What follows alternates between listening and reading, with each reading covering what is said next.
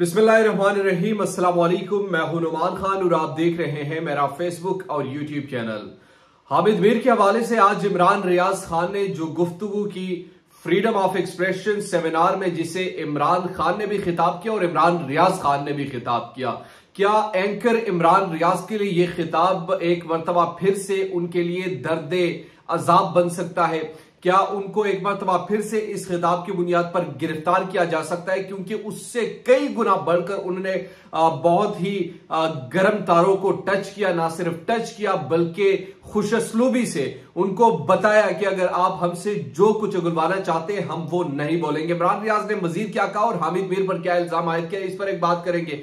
इसके साथ साथ डॉक्टर शहबाज गिल के हवाले से जो हाई कोर्ट में जो कुछ हुआ, वो तफसील पूरी आपके सामने रखूँगा कि उमर फारूक की अदालत में उन्होंने क्या कहा कि तशद हुआ है? नहीं हुआ। और इसके अलावा जो एडवोकेट फैसल चौधरी है उन्होंने दलाइल में क्या कहा? जज साहब को आ, किस तरीके से मुतमिन करने की कोशिश की? मगर उसके बावजूद मुतमिन क्यों नहीं हुए? इस पर बात करेंगे। इसके साथ साथ आखिरी जो हमारा टॉपिक होगा वो इमरान खान की नाअहली वो बड़ी इंपॉर्टेंस इख्तियार कर चुकी है चूँकि आज तो शाखाना स्कैंडल के हवाले से भी हेयरिंग हुई। उसके बाद फिर जो फॉरेन फंडिंग केस के हवाले से भी एक फैसला आया, वो भी आपके सामने रखेंगे। तो बड़ी अहम चीज़ें हैं इस वीडियो में। आपने मेरे साथ रहने अगर अभी तक आपने हमारे चैनल को सब्सक्राइब नहीं किया तो काइंडली सब्सक्राइब कीजिए बेल आइकन को प्रेस कीजिए, ताकि नहीं आने वाली और लेटेस्ट अपडेट से आप बाखबर है।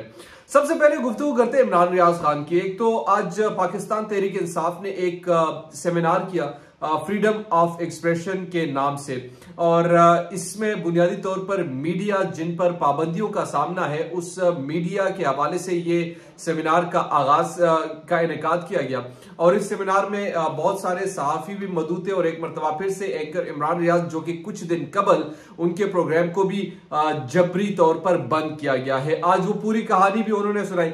उसके अलावा इमरान रियाज की तकरीर ही जीनत बनी। उन्होंने गुफ्तगु की और गुफ्तु ऐसी गुफ्तु की कि बहुत सारी चीज़ों से उन्हें पर्दा फाश किया। सबसे पहली चीज़ तो ये बताई कि जो हामिद मीर के हवाले से उन्हें बात की, उन्होंने कहा कि एक टाउट है उनका कि जिन्होंने मेरी ज़िंदगी के साथ खेला और कुछ क्लिप्स को तोड़ मरोड़ कर वो ट्वीट करते हैं और उसके साथ एक खास किस्म का जुमला लिखते हैं, जिसके बाद उसी रात मुझे बारह कॉल जाती है एजेंसियों से और वो मुझे धमकियाँ देते हैं कि आपको आपके बच्चों समेत मारा जाएगा। तो इस वजह से उनको एक खास गुस्सा था और जब किसी दूसरों के हवाले से वो पूछने की कोशिश करते कि यार एक मरतबा इससे तो आप पूछे कि आखिर ये आ, क्या बात करें ये आखिर वजह क्या है? आ, कि जिस तरीके से आ, इन्होंने ये मेरे साथ किया मुझे मरवाने की आखिर ये कोशिश क्यों की गई? तो बाद में वो मुस्कुराकर बात को टाल लेते हैं। ये ऐसा कहना है इमरान रियाज का। अब इमरान रियाज ने आगे क्या कहा? कि उन्होंने एक तो ये कह दिया कि अब उनकी ये ख्वाहिश है, जो वो चाहते हैं कि अब उनको जो पसंद है, उनके पसंद के बारे में बोला जाए। लेकिन इमरान रियाज कहते हैं कि नहीं, आपको जो पसंद है और हमें जो पसंद है, आप अपनी पसंद का ख्याल रखिए, हम अपने पसंद का ख्याल रखेंगे। आज़ादी इजहार राय का मतलब यह है कि अगर मैं इसी चीज़ पर बिलीव करूँगा कि मैं जिस चीज़ को सही समझता हूँ, उसी के बारे में बोलूँगा। मैं ये डायरेक्शन नहीं ले सकते कि आप मुझे कहेंगे कि आप इस बारे में बोले, इस बारे में ना बोले। उनने फिर एक वाक्य सुना उन्होंने कहा कि दस मुहर्रम में मुझे एक दफ्तर से कॉल आती है और उसमें वो कहते हैं कि आप प्रोग्राम करेंगे, मगर दो चीज़ों पर आप बात नहीं कर सकते। उन्होंने कहा, कौन, किस किन चीज़ों पर आप बात नहीं कर सकते? तो उनने बात की कि, आप बात नहीं कर सकते एयरवाई पे, आप बात नहीं कर सकते डॉक्टर शहबाज गिल पे। और इन दोनों मामला उस वक्त ट्रेंडिंग पे चल रहे पाकिस्तान के हॉट किस्म के वाकत है। अगर उस पर कोई नहीं बोल सकता तो फिर आपको प्राइम टाइम शो कर देगी क्या बात है? तो उन्होंने कहा कि यार अच्छा अगर मैं इस पे बात नहीं कर सकता तो आ, या तो ये कानून सबके लिए होना चाहिए। अगर सिर्फ़ मेरे लिए है तो फिर मैं इसको एक्सेप्ट नहीं करता। उन्होंने कहा कि नहीं खैर इदारा है इदारा फोर्स करता ही है कि आप ना कर इस चीज़ क्योंकि उनको अपने चेहरे की परवाह होती है। तो उन्होंने कहा कि ठीक है, बस फिर मैं इस तरह करता हूँ प्रोग्राम ही नहीं करता। आज के दिन आप लोग कहेंगे निजी मसरूफियात के बायस वो प्रोग्राम नहीं करेंगे। तो खैर, वो जब प्रोग्राम नहीं हुआ तो उन्होंने आगे से ऑफ़ ईयर ही कर दिया। यानी वो अगले रोज गए तो उनने कह दिया कि जनाब हम बड़े माजरत खा हैं और आपके प्रोग्राम को एक बार फिर से ऑफेयर कर दिया गया।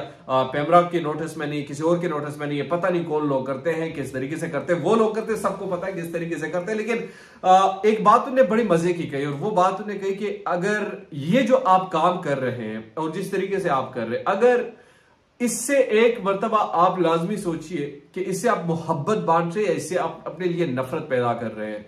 क्योंकि उन्होंने कहा कि जब मैं निकल रहा था तो मेरी टीम के जो लोग थे, उनकी आँखों में आँसू थे। मेरा तो रोजी रोटी का जो सिलसिला उन्हें कहा वो चलता रहेगा। लेकिन उनके साथ मेरे साथ जुड़े हुए थे।